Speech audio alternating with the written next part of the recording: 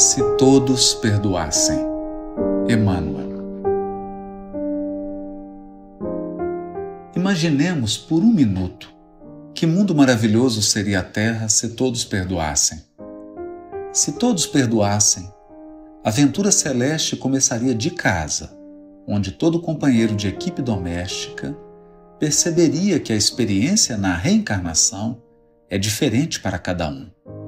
E por isso mesmo, teria suficiente disposição para agir em apoio dos associados da edificação em família, a fim de que venham a encontrar o tipo de felicidade pessoal e correta a que se dirigem. Se todos perdoassem, cada grupo na comunidade terrestre alcançaria o máximo de eficiência na produção do bem comum, porquanto em toda parte existiria entendimento bastante para que a inveja e o despeito, o azedume e a crítica destrutiva fossem banidos para sempre do convívio social. Se todos perdoassem, o espírito de competição, no progresso das ciências e na efetivação dos negócios, subiria constantemente de nível moral, suscitando as mais belas empresas de aprimoramento do mundo porque o golpe e a vingança desapareceriam do intercâmbio entre pessoas e instituições, com respeito mútuo, revestindo de lealdade os menores impulsos à concorrência, que se fixaria exclusivamente no bem, com esquecimento do mal.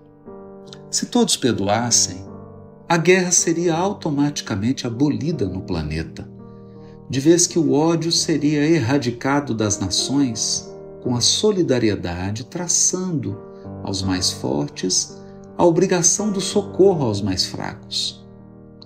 Não mais se verificando a corrida de armamentos, e sim a emulação incessante à fraternidade entre os povos.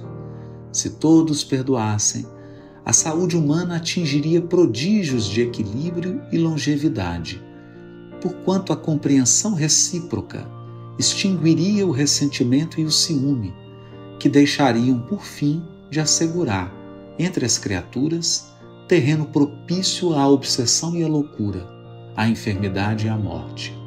Se todos perdoarmos, reformaremos a vida na terra, apagando de todos os idiomas a palavra ressentimento, para convivermos uns com os outros, acreditando realmente que somos irmãos diante de Deus quando todos aprendermos a perdoar, o amor entoará hosanas de polo a polo da terra.